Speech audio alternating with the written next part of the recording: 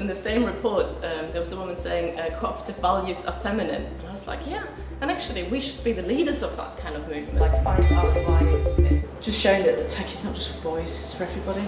Um, and tech is more than code.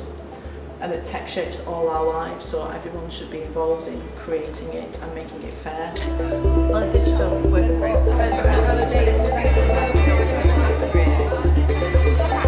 local government's a different story. It's flatlined since 1997. So um, only 20% of council leaders are women. Only um, 4% of councils have maternity, paternity or adoption policies for councillors.